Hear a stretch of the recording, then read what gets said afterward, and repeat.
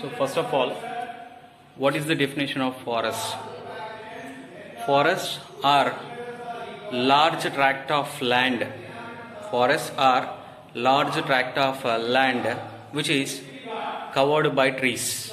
Which is covered by trees. It should stretch uh, some hundreds of kilometers and it should covered by trees. Not only trees, small plants, creepers, grasses, everything should cover with less interference of human beings.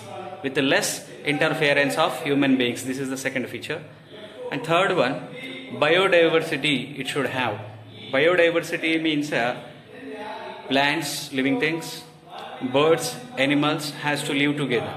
If you observe, forests are useful in many ways, particularly tribals.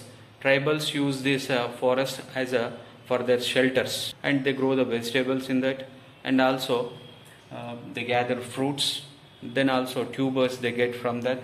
Next they hunt animals then cultivation particularly podu or uh, jhoom cultivation is done by the uh, tribals in forest area. Nothing but they clear the forest of little bit land then after they will burn the remaining uh, what we have the remains then the land is used for growing crops such type of jhoom or Podu cultivation is uh, uh, done by the tribals in the forest area. Forests are very beautiful, scenic manner. So it is used for tourism purpose also. Next, uh, birds, animals are living. It is a living place for birds and animals. Means biodiversity. What we discussed. Next, uh, wood and timber we get. Wood and timber we get. Means uh, forest uh, nearby people they make some tools, agriculture related tools by that wood. In our houses also windows doors benches everything are made with uh, that one. And fuel. Fuel means uh, firewood. For cooking purpose that are tribals and uh, who are living nearby that uh, forest they use that wood and timber. Next uh, forests are useful for animal husbandry grazing rearing purpose of animals purpose. It is uh, useful.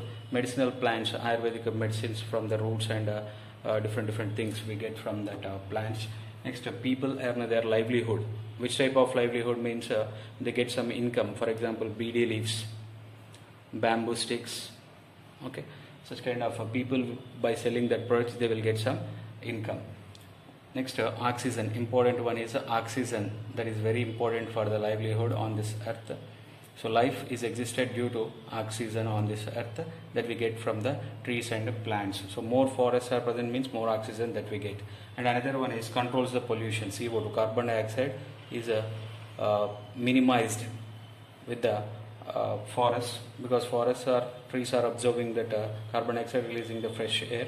So we can minimize the pollution which is very important to exist life on this earth. Next we get rainfall. If you observe regularly forest areas will get more rainfall and where we have less forest there we get less rainfall. So forests are useful to get rainfall. Next uh, when floods happens at that time trees are stopping the flow of water. Trees are stopping the flow of water the speed will be slowed down. So floods will be controlled by the trees uh, surrounding the river areas. Next uh, recharging groundwater is possible. Recharging groundwater is possible. How means uh, uh, when the water speed in a flood floods time will be controlled or stopped slow down by the forest.